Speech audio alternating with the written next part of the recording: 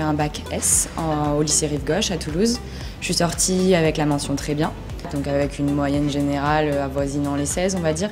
Après TSE, ça m'a convaincu avec l'alliage des maths, euh, de l'éco et du droit. Bon, moi aussi euh, j'avais des bonnes notes au lycée, toujours autour de 17 en maths, même avant le lycée. J'avais envie de faire l'économie et j'étais aussi très intéressé par le droit. Et du coup, euh, ce double diplôme, qui est vraiment un double diplôme, est très intéressant.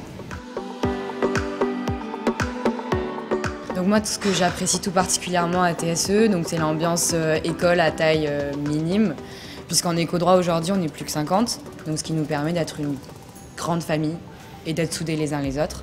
Et concernant la L3, on nous avertit suffisamment en avance de la sélection pour pouvoir se situer et préparer la suite.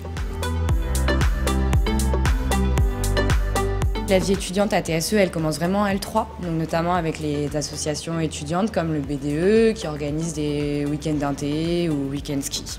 Et donc d'ailleurs le BDE organise des parrainages avec les générations précédentes. Je suis aussi dans une autre association TSE, Say It Aloud. On organise des débats et des conférences.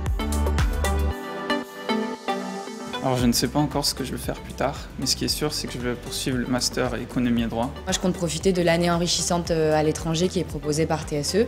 Donc c'est une année qui n'est pas diplômante, mais qui permet de garder le fil avec le cursus universitaire. Et après, s'agissant d'éventuels euh, projets euh, professionnels, je compte bien profiter du Business Networking Day et des nombreux partenariats que l'école propose.